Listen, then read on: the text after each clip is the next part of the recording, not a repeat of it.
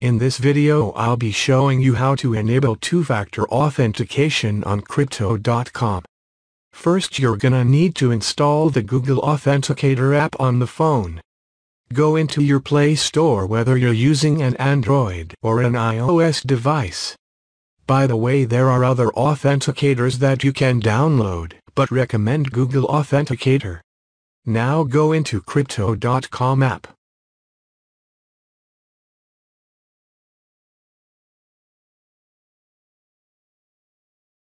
Now tap on the top left-hand corner on your profile photo.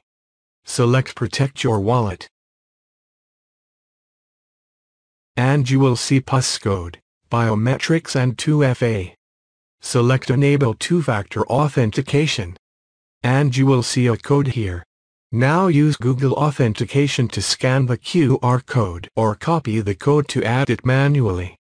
I'll be adding the code manually. Copy the code. Now go into the Authentication app. Tap on Get Started.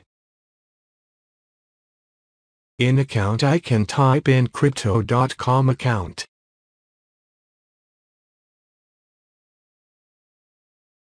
And then I'll paste the code.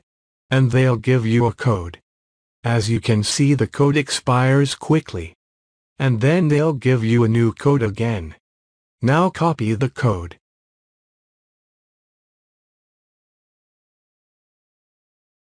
Now copy the code.